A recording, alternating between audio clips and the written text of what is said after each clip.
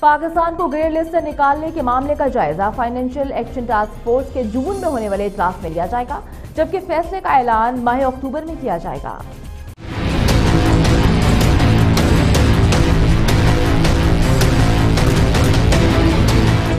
Money laundering اور دہشت گردی کے لیے مالی معاونت کے خلاف کارروائی کے حوالے سے پاکستان کی کارکردگی کا جائزہ فائنینشیل ایکشن ٹاسک فورس کے چھبیس جون تک جاری رہنے والے اجلاس میں لیا جائے گا۔ ڈوریشن گروپ کا جوائنٹ ورکنگ گروپ بھی اجلاس میں شرکت کرے گا۔ اجلاس میں لیے گئے جائزے کی بنیاد پر اکتوبر میں اس بات کا اعلان ہوگا کہ پاکستان کو گرے لسٹ سے نکالا جائے یا نہیں۔